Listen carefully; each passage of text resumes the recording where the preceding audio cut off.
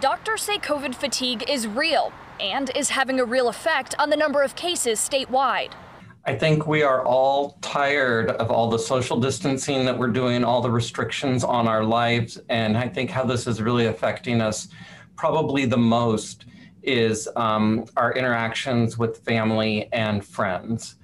Dr. Um, Dean Blumberg with UC Davis Health says people need to reconsider their holiday plans as COVID 19 cases rise. Shared time cooking in the kitchen and sitting on the couch watching football and um, just a lot of together time.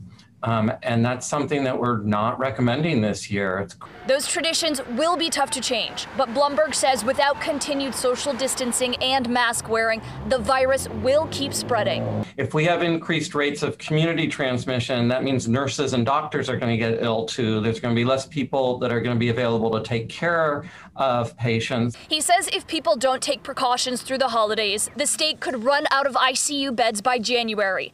In Sacramento County, public health officials are getting ready to release guidelines on how people should gather during the holidays. We really all need to work together and make sure that um, we follow the guidance. Sacramento County Public Health Officer Dr. Olivia Kasirye says 18 to 49 year olds, young adults, are the group seeing the highest rate of spread. She says everyone needs to work together to slow the virus. I think it's also a reminder that as a community, we all need to realize that our actions will impact uh, the entire community. Dr. Kasirye says those guidelines are expected to be released tomorrow. The state has yet to put out its formal guidelines for the holidays. Emily Maher, KCRA 3 News.